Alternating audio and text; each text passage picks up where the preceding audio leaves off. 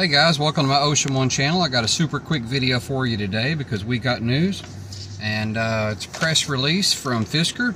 I'm just going to read it to you. Uh, the title says Fisker adds six new locations, three new dealer partner locations in California, and new locations in Missouri, Pennsylvania, and Guam. Now Guam, I don't, I don't know about Guam, okay? Does most people ever know where Guam is on a map? You know, it's way over there basically under Japan in the grand scheme of things.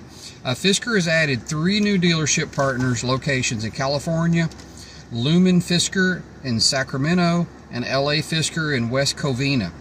Fisker both in Los Angeles County. Fisker has added two additional U.S. dealer partner locations, uh, Fisker of Kansas, Missouri, and NEPA, NEPA maybe, NEPA Fisker of Forest City, Pennsylvania, and Fisker Guam a distributor in Guam.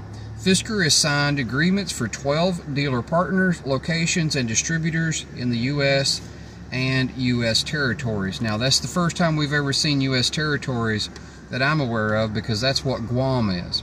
Now, I wish we had started these dealers much sooner. You know, here we are late in the game signing up dealerships, but we are signing them up. So maybe this is showing signs of life in Fisker. Guess I should shut the sunroof. Uh, guess I got a police or an ambulance going by or something there. I wish we'd start these dealerships much, much sooner instead of waiting so late in the game and trying to pivot. Um, now, I want to read this quote from the Fisker spokesperson.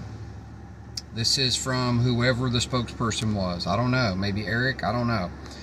We are excited to welcome our new dealer partners to the Fisker family and look forward to them opening for business. California is an exceptionally important market for us, and our team has been working hard to sign dealership partners in the state. We are also very pleased to grow our national networks as we add another key Midwestern city, Kansas, Kansas City, Missouri, as well as new locations in Pennsylvania and Guam. Now, what what should we make of this? I am not so sure what to make of this if you want the truth. Um, I don't think you're going to find a big, bigger Fisker fan than I am. I mean, I want Fisker to survive. And if this in any way helps us to survive, I am all for it. The one that I am just totally perplexed on, though, is Guam. Um, I had a person on uh, one of my feeds. Uh, well, I guess I should just say not feeds. Uh, uh, what was it? StockTwits. Had a person on StockTwits message me and said he knows people in Guam and says that the speed limit there is just 35 miles per hour.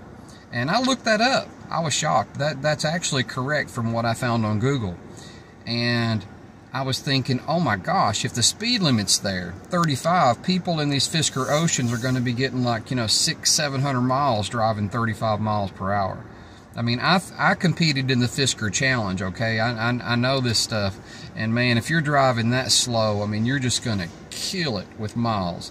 But anyway, I don't know what to make of Guam. I am totally perplexed on that.